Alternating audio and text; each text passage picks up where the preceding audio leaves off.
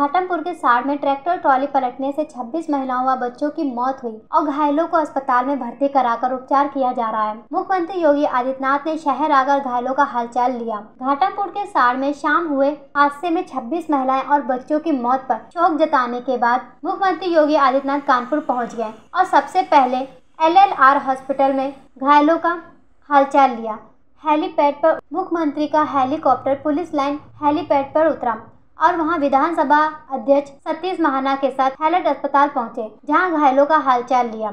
LLR अस्पताल में पत्रकारों से वार्ता में मुख्यमंत्री योगी आदित्यनाथ ने चकेरी में हुई दुर्घटना में पाँच लोगों की मौत पर भी दुख जताया। उन्होंने कहा कि घायलों का इलाज तत्परता से किया जा रहा है। सरकार ने ऐसी घटनाओं को रोकने के लिए समय समय पर कार्यक्रम चलाए हैं। उन्होंने राष्ट्रपति और प्रधानमंत्री समेत सभी महत्वपूर्ण लोगों की संवेदनाओं के बारे में भी बताया। रिलीफ फंड में मिली मदद की जानकारी दी। कहा, अंतिम संस्कार की प्रक्रिया पूरी होने के बाद पीड़ितों को मदद राशि दी जाएगी। उन्होंने कहा कि सड़क सुरक्षा सरकार की प्राथमिकता में है। चिंता का विषय है कि सड़क दुर्घटना में कई जाने जाती हैं। इसे देखते हुए परिवहन विभाग जागरूकता लाने का कार्य करें। मुख्यमंत्री के साथ डीजीपी डीएस चौहान और प्रमुख सचिव गृह संजय प्रसाद भी मौजूद। प्रकार की घटनाओं को रोकने के लिए समय समय पर अनेक जागरूकता के कार्यक्रम भी चलाए हैं। कल की दुखद घटना पर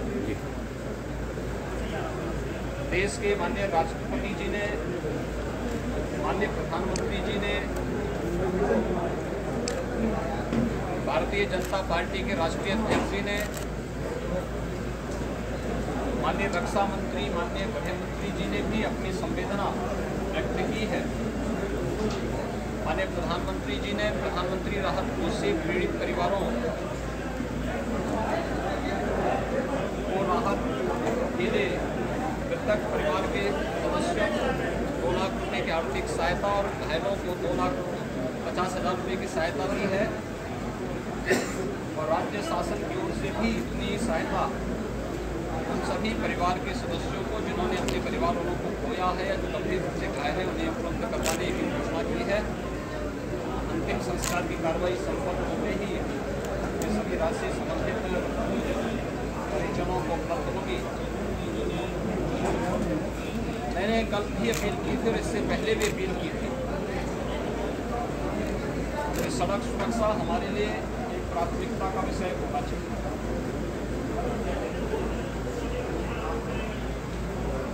बहुत बड़ी संख्या में जनहानि होती है सड़क दुर्घटनाओं के कारण। और ये हम सबकी चिंता का विषय होना चाहिए। मैंने अपील की है, आज प्रातः ही मैंने गृह विभाग सड़क से जुड़े हुए, अपने परिवहन निगम से जुड़े हुए सभी अधिकारियों को बुला करके उनको बहुत स्पष्ट रूप से कहा है। कि सड़क सुरक्षा से संबंधित एक बृहद जागरूकता के कार्यक्रम को आगे बढ़ाने की आवश्यकता है। स्कूल, कॉलेजेस से लेकर के सभी स्टेक होल्डर्स के साथ इसके साथ जोड़ने की आवश्यकता है। प्राथमिक रूप से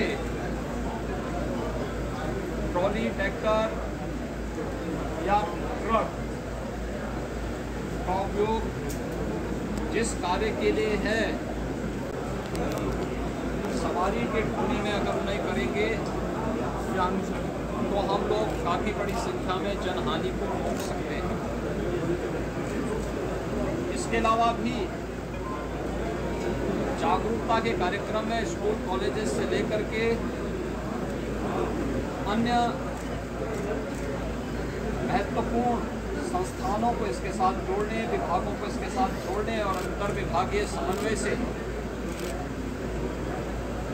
जागरूकता के बड़े कार्यक्रम को आगे बढ़ाने के लिए हमने कहा है और इस कार्यक्रम को हम बड़ी मजबूती के साथ आगे बढ़ाएँगे जन सहभागिता जन. वहाँ पर शोक संतप्त परिजनों का संबल बांधने और उनके साथ इस पूरे कार्यक्रम में उनका सहयोग करने के लिए वहाँ पर हैं कानपुर नगर से जुड़े हुए हमारे जो माननीय जनप्रतिनिधि हैं, माननीय अध्यक्ष जी के नेतृत्व में, माननीय सांसद जी, माननीय विधायक गण जो हमारे हैं, इन सभी के साथ कल से ही यहाँ पर पीड़ितों की सेवा में यहाँ पर अपना योगदान दे रहे हैं। दुखद घटना आज प्रातः भी तीन बजे भी हुई। चकेरी थाना क्षेत्र में विंध्याचल धाम की ओर प्रस्थान कर रहे श्रद्धालुओं के एक डंपर पर ट्रक ने पीछे से ठोकर मारी थी। इसमें भी पाँच मौतें हुई हैं और नौ लोग गंभीर रूप से घायल हुए हैं।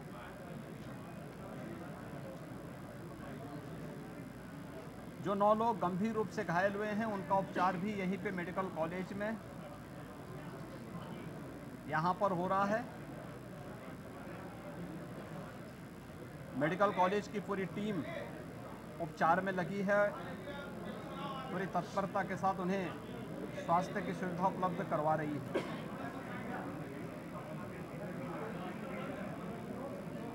जिन परिवार वालों ने अपने परिवार के सदस्यों को खोया है। उन सब के प्रति संवेदना व्यक्त करने, घायलों को देखने के लिए ही मैं और विधानसभा के अध्यक्ष जी आज यहाँ पर आए हैं। परिवार के सदस्यों से हमने बातचीत की है और अपनी संवेदना उन सभी के प्रति भी व्यक्त की है। जिन लोगों ने अपने परिवार के सदस्यों से को खोया है। कानपुर से विशाल सैनिक रिपोर्ट जन कल्याण न्यूज़।